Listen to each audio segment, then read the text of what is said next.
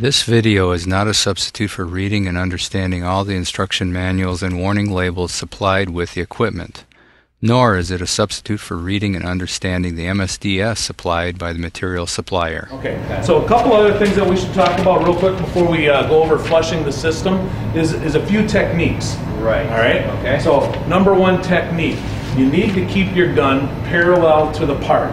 Right? Okay. So you should be about 10 inches from your part, but keep your gun parallel to it. All right? So what we're going to do is I want to turn this just at an angle ever so slightly, Eric, so we get a, a good shot here. All right?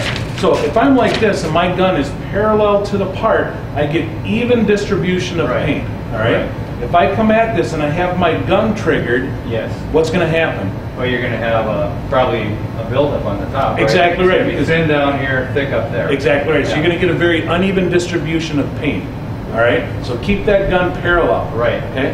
Next thing, as you're coming to the end of your spray pattern, Mhm. right, release the trigger before pulling your gun back or rotating it. Right. Same thing. If I'm parallel to the part and I start rotating my gun out, Yeah. right, all of a sudden my pattern gets thin and, and bigger at the Yeah, end. yeah. Uneven distribution of paint once again. So you're keeping that, this plane perpendicular to your part while you're triggering. Exactly right. And de-trigger off the part.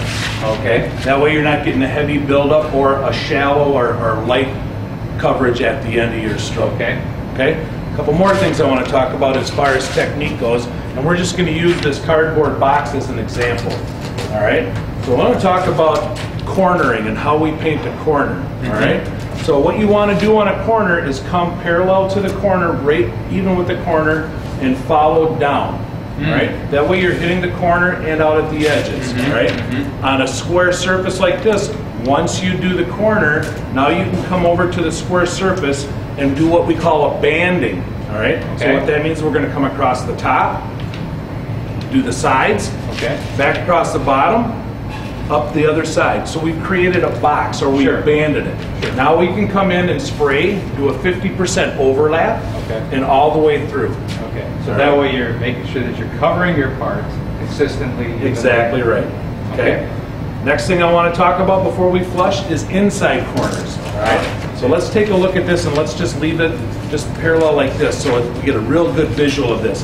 If I come in and, and attack an inside corner the same way I do an outside corner like this, what's going to happen? Uh, I think you're gonna get some buildup.